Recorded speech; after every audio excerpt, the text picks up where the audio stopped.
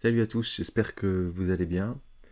Bon, on va rebondir sur euh, le séisme qui a été annoncé euh, ce matin par euh, Gusenko, à savoir, ben, ça va sabrer dans les effectifs de la maison mère d'Asmodée et peut-être également chez Asmodée, ce qui peut être peut-être pas une, catastrophe euh, pour euh, nous, mais qui est quand même relativement inquiétant pour les gens qui travaillent là-bas, étant donné que bah, c'est quand même des gens. Donc voilà, on va parcourir ensemble l'article. je vous propose juste qu'on regarde ensemble le contenu de, cette publication.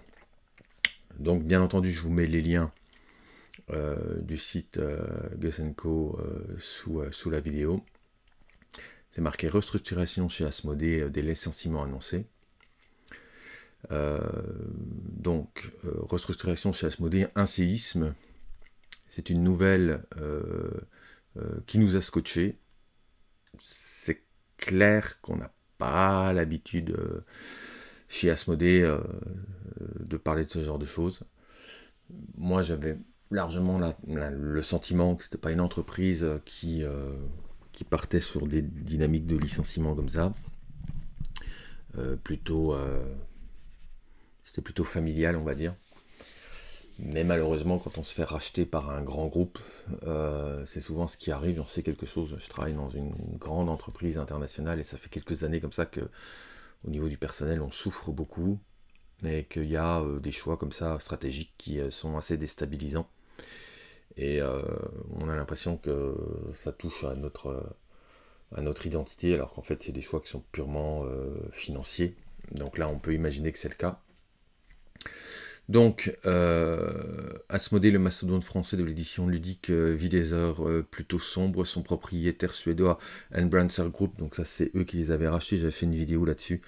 un grand groupe qu'ils avaient racheté puis qu'ils avaient associé à des achats de studios euh, de jeux vidéo, mais on va y revenir, a annoncé le lancement d'une vaste restructuration touchant plusieurs de ses filiales, dont Asmodée, au menu compression des coûts, licenciement massif, fermeture de studios, une véritable cure d'austérité.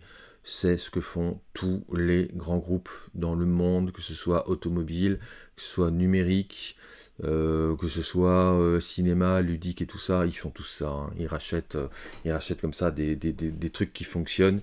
Et puis après, ils les forcent à la cure d'amaigrissement au, maximum pour un maximum de rentabilité. puis une fois qu'ils ont essoré le truc, bah, la plupart du temps, le, PDG qui a fait ça se barre avec un, un beau chèque et puis, et puis les gens sont sur le carreau. Là aussi, je sais de quoi je parle. Euh, pourtant, Asmodée euh, sortait tout juste d'un trimestre record avec des revenus en hausse de 25%.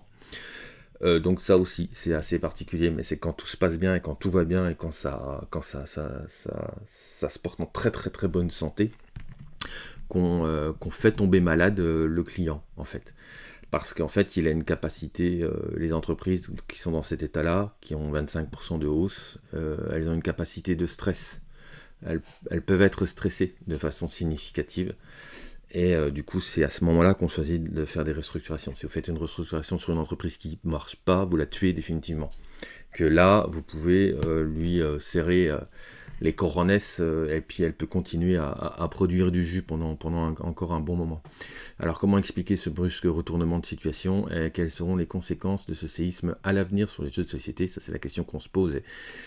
Je pense que ça peut être assez significatif en tout cas pour notre espace à nous. Jeux de figurines, mais on va y, revenir. Pareil, c'est de la pure euh, spéculation, je ne sais rien. Je suis, je suis un petit youtubeur dans son salon. Mais euh, voilà, je vais vous donner des pistes de réflexion, puis après vous en ferez ce que vous voulez. Accrochez-vous bien, à vos dés, on vous explique tout. Donc, la fringale d'Enbrancer, euh, quand l'ogre suédois perd l'appétit. Ben, oui, évidemment. Il faut dire qu'Enbrancer Group euh, a, fait en a fait voir de toutes les couleurs à l'industrie du jeu vidéo ces dernières années. Le holding suédoise collectionne les studios de développement à une vitesse éclair. En 2017, ils engloutissent pas moins de 90 entreprises. Euh, de quoi lui valoir le surnom de Unbrancer, l'étreignant en anglais, c'est pas super cool. Euh, mais voilà, euh, à force de trop vouloir engloutir, on finit par être victime d'indigestion. Résultat, Unbrancer se retrouve lesté d'une dette abyssale de 1,5 milliard de dollars américains. Bah, évidemment, quand vous rachetez des entreprises, vous rachetez également le passif qui va avec. de quoi couper l'appétit à n'importe quel ogre. Euh, d'autant plus que euh, plusieurs des euh, méga productions lancées par le studio Phare ont récemment fait pchit, notamment les, rivales de Sandro, qui sont écrasés et qui ont, fait des échecs commerciaux. Donc là, on se rend bien compte que c'est les studios de jeux vidéo qui tirent en fait Unbrancer vers le bas. Par conséquent, Unbrancer a mis une croix sur ses ambitions démesurées pour se concentrer sur l'assainissement de ses finances exemptes, évidemment. Euh, excite le règne de l'excès et euh, de la débauche, place à la diète sévère et à la retenue budgétaire, les holdings, euh, a même sabré dans les effectifs prolifiques en mettant plus de 900 employés à pied entre juillet et septembre. Vous avez bien lu 900 personnes, soit 10% du groupe Plan Social de Ouf. Alors, Évidemment, euh, quand, les, euh, quand les finances sont exemptes, euh, eh ben, c'est la fin de la fête. les diètes budgétaires, c'est un, grand, un grand classique. on appelle ça les, les cash killers. Mais qui cherchent à, flinguer un maximum tout ce qui coûte cher. je prends des exemples. Chez nous, on a arrêté tout ce qui était sport auto, Formule 1, toutes ces choses-là.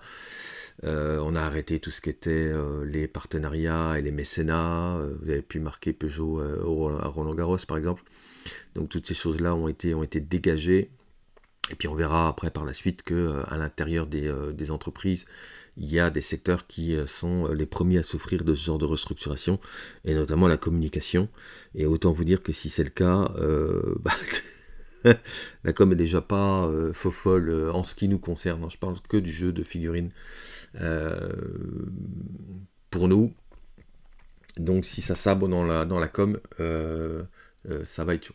Asmodée dans l'œil du cyclone, évidemment, logiquement, Asmodée aurait dû être épargné par la tornade, car ses résultats témoignent d'une santé insolente. Ses ventes ont flambé de 25%. Le géant du jeu de société aligne un profit, profit sur profit depuis son rachat par un Alors pourquoi diable sabrer dans ses effectifs alors que les performances sont au rendez-vous? Alors on va voir ce qu'ils vont dire, mais je pense que ça va coller avec ce que je vous ai dit, c'est que plus on est en bonne santé, plus on est la cible de, la cure d'amaigrissement. Euh, tout simplement parce que la maison mère exige qu'Asmodée constitue, euh, contribue aux économies à l'échelle du groupe, bah, bien sûr. Peu importe le succès de la boutique, la filiale française doit se serrer la ceinture elle aussi, quitte à sabrer euh, dans le muscle plutôt que dans le gras. Ça, pas cool. Résultat, une première salve de mise à pied est déjà tombée. J'en ai entendu parler. Avec la promesse euh, que ce n'est qu'un début, selon la direction financière d'Asmodée, autrement dit, accrochez, accrochez-vous, la tornade risque de faire encore pas mal de dégâts. Cerise sur le gâteau, pendant que des centaines d'employés se retrouve sur le carreau, le grand Manitou, euh, Lars Vengor, salive déjà à l'idée euh, d'exploiter le, fantastique potentiel de la licence Le Seigneur des Anneaux acquise à prix de nombreuses souffrances. Sacré euh, contraste entre le discours enjoué des hautes instances et la dure réalité du terrain. Bon, un grand classique. déjà lui, le boss, il va se faire un max de fric. On peut imaginer que ça va euh, quand même se traduire par euh, des départs euh, volontaires, des départs, ce qu'on appelle des départs volontaires, c'est-à-dire que ce sera un plan, un plan de départ peut-être, je sais pas, hein, mais normalement c'est comme ça. Donc en fait, ce qui se passe dans ces plans de départ, quand ça se traduit comme ça, on, va voir, on va lire la suite de l'article, mais quand on fait un plan de départ comme ça, les premiers qui s'en vont, c'est les meilleurs. Normal, euh, parce qu'ils retrouvent du travail facilement, parce qu'ils peuvent, ils savent porter leur expérience à l'extérieur très facilement, parce qu'ils sont compétitifs, et puis parce qu'ils sont recherchés, donc euh, ben, ils se font un petit appart sur le chemin, hein, parce que on part avec un intéressement euh, significatif, ce qui permet de, se payer un, petit studio. Et puis, puis après, ben, on retrouve du boulot très facilement chez le, voisin, qui est souvent soit la sous-traitance, soit, euh, l'adversaire. Euh, donc en fait, ceux qui vont partir en premier, ce sera, euh, ce sera à, n'en pas douter ceux qui sont le plus faciles à porter dans d'autres entreprises, donc ceux qui sont efficaces. Je vous laisse imaginer ce qui va du coup, ce qui risque du coup de, rester. alors une intégration à Answer qui tourne au vinaigre. il faut dire que le rachat d'Osmodé par Answer Group avait de quoi séduire sur le papier. J'avais fait une vidéo sur le sujet. Asmodée faisait déjà office de mastodonte dans l'édition du jeu de société et euh, dans le jeu de cartes à collectionner, mais rejoint euh, un conglomérat euh, au rein encore plus solide qui lui promettait de stimuler sa croissance, peut-être même de développer des synergies avec d'autres divisions de jeux vidéo euh, ou euh, mobile. Alors ça, j'en avais parlé dans ma vidéo quand ils avaient été rachetés. J'avais dit que c'était une recherche effectivement euh, de synergie entre les studios de jeux vidéo, puisqu'ils avait, ils avaient fermé les studios vidéo d'Asmodée, toute la partie jeux vidéo d'Asmodée avait fermé. et j'avais dit aussi que je m'inquiétais de ce rachat parce que ça pouvait générer des restructurations à terme.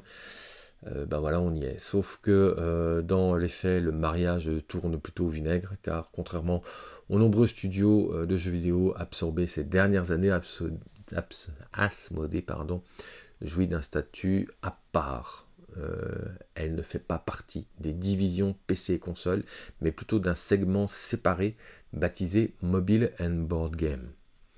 On va voir ce que ça traduit. Euh, cette position hybride se révèle être une malédiction autant qu'une bénédiction. Certes, Asmodée conserve son autonomie stratégique, c'est bon, c'est pas mal, euh, et peut continuer à miser son euh, expertise euh, dans les jeux de société et les jeux de cartes.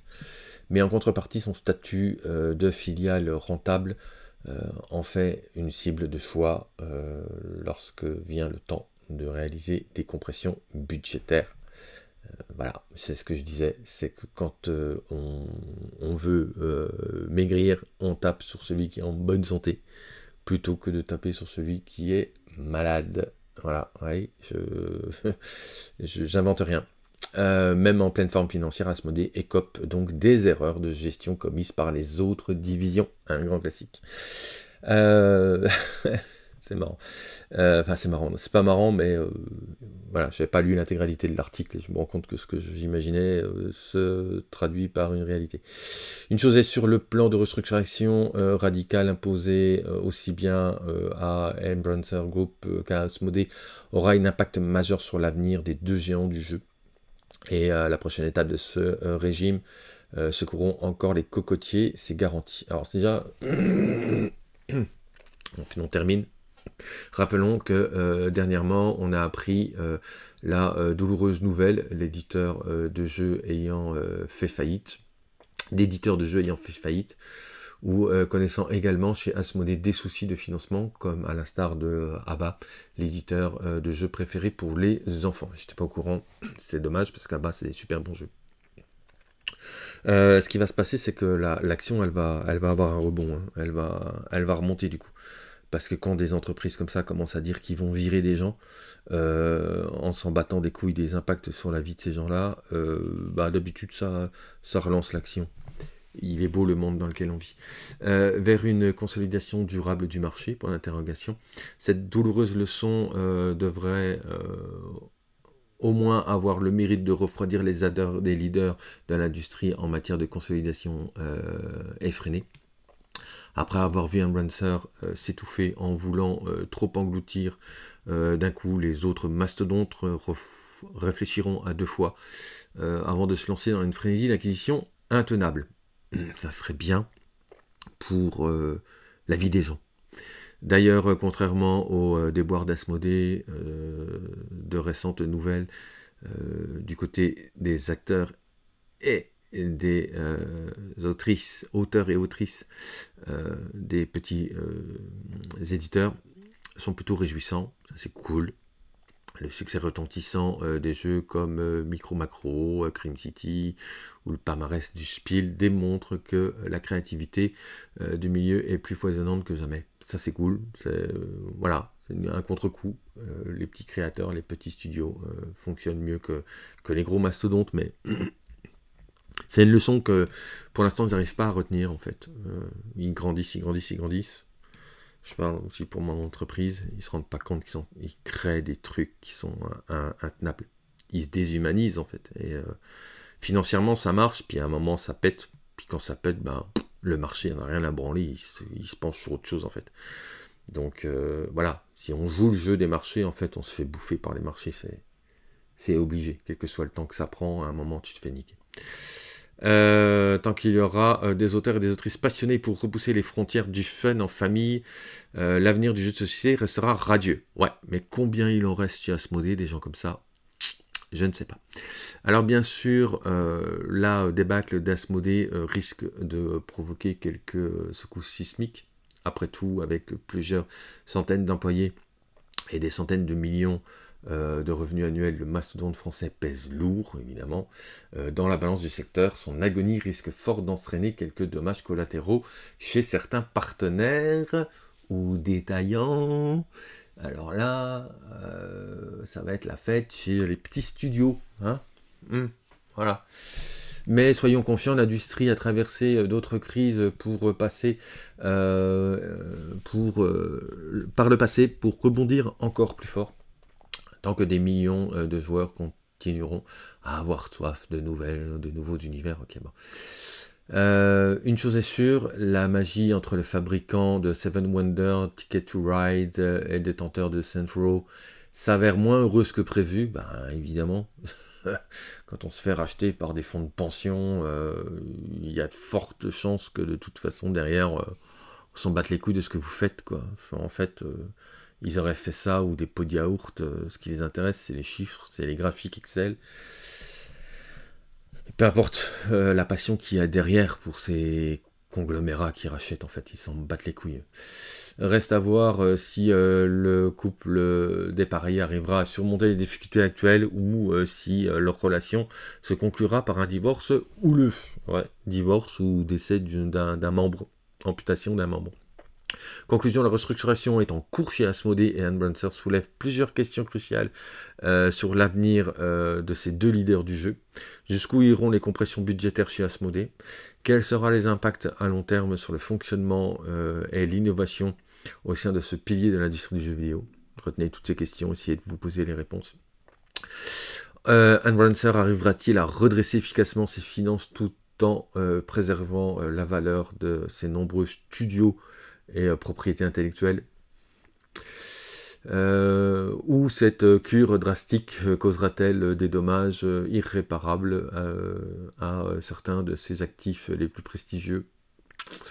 Et enfin, euh, cette douloureuse leçon incitera-t-elle les grands joueurs de l'industrie à revoir leur stratégie axée sur une expansion effrénée et non viable? Je ne l'imagine pas. Ou au contraire assisterons-nous à euh, une manœuvre téméraire de rachat massif dans les futurs? Ouais, peut-être. Donc on peut rêver que cet épisode calamiteux euh, mène à une scène, euh, vers une scène de consolidation du marché, avec des entreprises qui privilégient la créativité, l'innovation, le développement, au développement anarchique. car pour finir, ce sont les auteurs et les autrices passionnés de jeux les joueurs qui, euh, qui, euh, qui, font vivre le, jeu de société. Bien plus que les stratégies hasardeuses des hauts dirigeants, oui, bon, ok, voilà. Qu'est-ce qu'on peut conclure sur, sur cet article Très rapidement, sans vouloir faire de, de supputation à la con, Évidemment, on sait peu ou, pas grand-chose de, ce qui se passe. Euh, euh, et puis, il faut pas qu'on s'enflamme sur, euh, sur ce qui va arriver. Mais la plupart du temps, par expérience, les services qui sont les premiers touchés, c'est les services de communication. ensuite, c'est les studios qui ne sont pas à forte valeur ajoutée. On sait que chez Asmodee, c'est plus du board game que du jeu de figurines, par exemple. Voilà. Euh, une licence comme euh, Star Wars coûte cher. Là, je parle pour ma, pour ma, pour mon côté. Après, ils auront sans aucun doute à, cœur de la conserver parce que elle, normalement, elle devrait être à forte valeur ajoutée, même si, euh, même si eux, ils, ne semblent pas réussir à, transformer l'essai, étant donné la façon dont les jeux Star Wars marchent. En tout cas, les jeux de figurines marchent. Euh, on sait que derrière le jeu de figurines, il y a, toute une application que Asmodée n'arrive pas à, développer, un suivi, un suivi et une animation qu'il n'arrive pas à, développer. On le sait, je ne suis pas en train de traduire des choses qui ne sont pas connues. moi, j'ai juste envie de conclure que ben, c'est très triste pour les gens qui, sont, qui vont être impactés par cette restructuration. Voilà, je pense que toute la communauté leur apporte leur soutien parce que c'est jamais facile de s'entendre dire que euh, on n'est plus, euh, un élément euh, crucial de l'entreprise et puis qu'on doit gentiment préparer ses affaires et s'en aller. Et c'est comme ça que ça va se passer, avec un peut-être, j'espère, dans les débuts, un petit chèque qui, comme je dis, va traduire que bah, c'est principalement les, forces vives qui vont s'en aller, puis après, bah, ça sera de plus en plus contraignant. Et donc, ça se fera de moins en moins sous, sous, couvert de, de départ dit volontaire. Voilà, n'hésitez pas à me dire ce que vous en pensez euh, en commentaire. Une fois de plus, euh, tout notre euh, tout notre soutien à ceux qui vont, qui vont, qui peuvent et qui pourraient souffrir de cette, de cette situation. Il me reste à vous souhaiter de bons jeux et puis surtout de bons jets, parce qu'il n'y a que ça pour poutrer le type d'en face. Très bientôt, bonne semaine, je vous donne rendez-vous à la fin de la semaine pour l'expresso et puis peut-être quelque chose entre si je trouve le temps. Ciao les loulous.